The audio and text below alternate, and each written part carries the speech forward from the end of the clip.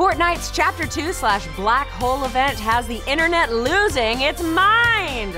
Fans of the Battle Royale Fortnite have been wondering how Fortnite Season 10's finale was going to top itself, and it turns out the answer was for Epic Games to simply shut down the whole dang game. Over the weekend, Fortnite players found the entire game collapsing into a singularity as the Battle Royale island was sucked into a black hole. Ever since that moment, players trying to sign into the game have been stuck watching this black hole for hours, which has led to millions of views on Twitch and YouTube of a swirling blue circle while occasionally numbers would appear. And while this has led fans to speculate if these numbers are some sort of code or Easter egg, one confirmed hidden surprise is that if fans enter the classic Konami code up, up, down, down, left, right, left, right, BA start, it gives them a mini game to play. Of course, many believe that this is all a precursor to something even bigger, and based on some of the leaks popping up, which we will break down in a few moments, it could be the launch of Season 1 of Chapter 2. However, in the meantime, fans have taken to social media to express their thoughts and frustrations about the hashtag Fortnite blackout. First off, official PlayStation support weighed in saying, please be assured that your inventory items and V-Bucks are secure during the Fortnite blackout. For any other Fortnite questions, please visit help.epicgames.com. Well, that certainly got to be a relief for some people. But that certainly didn't put everyone's fears at ease, like streamer at Courage JD, who said, Fortnite is gone. Twitch isn't loading. I'm terribly scared I might have to go outside. Some people were trying to figure out exactly what caused this, and at Frisk MK might have figured the whole thing out, and the culprit is a certain naughty goose from another viral game. OMG, I know what happened to at Fortnite game. It's certainly as good an explanation as any.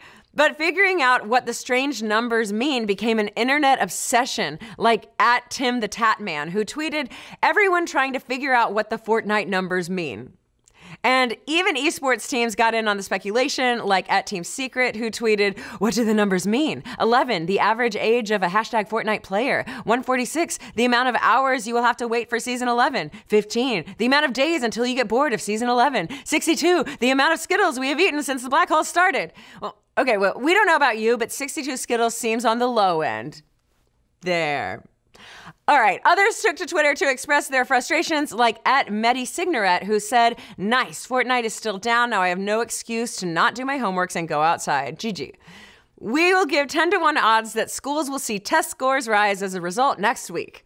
At Cypher PK turned the knife a bit more, tweeting, Imagine your parents said, finish your homework and do all your chores and you can play Fortnite all day. You finish all of it, and then Epic said, even Satan himself got in on the viral tweeting action, torturing Fortnite fans with, Fortnite is dead, just like your hopes and dreams. Yeah, Satan, we live in 2019. We know. But some people found the silver lining to this whole thing, like at Lil Tree Prod, who said, Fortnite ended a couple hours ago, and I finally went downstairs to speak to my family. They actually pretty cool people. And Zexrow from TSM, who said, Who knew the best thing for Fortnite's viewership on Twitch was to take away the gameplay? It's the age old adage give the people what they don't want. But maybe the most sobering tweet of them all was from the unofficial Fortnite news outlet at Fortnite BR.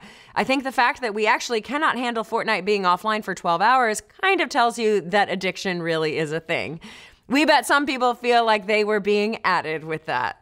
But what does all of this mean? Well, as we mentioned, based on some of the leaks popping up, it appears that all of this is a precursor to Chapter 2, Season 1.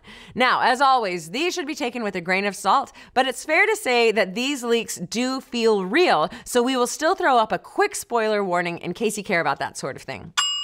According to leaks, we will be getting a new map as well as new features like hiding in barrels and carrying down teammates. There will also be new cosmetic changes as well as the addition of boats and pogo sticks. But it's no surprise that Fortnite's actual creator, Epic Games, has been mum on what will happen when the game comes back or if it will at all.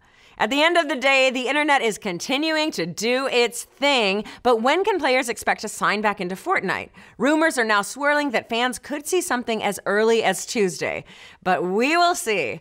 What do you folks think? Are you pissed you couldn't play Fortnite this weekend? Did you just switch to Apex Legends? And what do you think will happen once Fortnite comes back online? Let's discuss. Thanks for watching. If you like what you saw, why not give us a like and subscribe? If you want to get notified every time we go live with the show or drop a new video, feel free to mash that little bell so you can be up to date on all the latest theories, news, and rumors in the pop culture world.